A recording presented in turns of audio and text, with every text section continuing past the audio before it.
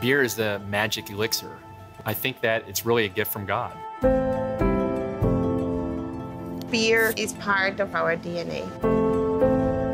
Share something that you have in common. A lot of people don't have a lot of things in common right now.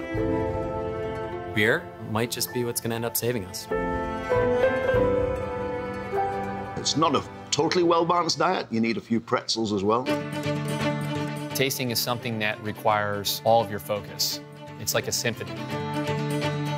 You're taking on a challenge that only 13 have been able to achieve. Fantastic. Success. The most difficult exam in all of beer. You know, it's a 99 to 100% fail rate. The clock starts ticking at the beginning of a gauntlet. I really want to get back to where we started.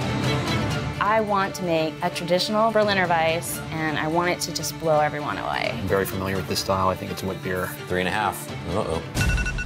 They make or break you sometimes. The last second changes. Whew.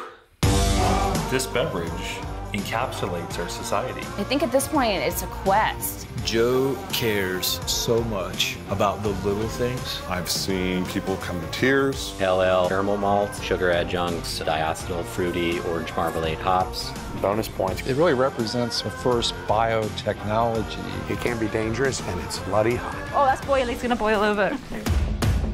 Someone is going to drink my beer in the Netherlands today, and it could possibly make their day better. That is why people should get in the beer business. You cannot call it beer, you just have to call it a refreshing beverage made out of malt with alcohol.